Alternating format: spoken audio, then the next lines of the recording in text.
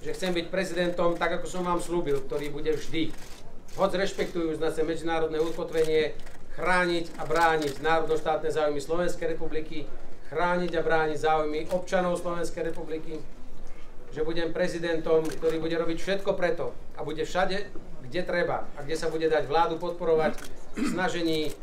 zlepšovať život ľudí na Slovensku, aby sa podarilo vláde naplniť jej programové vyhlásenie vlády, ktoré hovorí, aby sa na Slovensku ľuďom lepšie, bezpečnejšie a kvalitnejšie žilo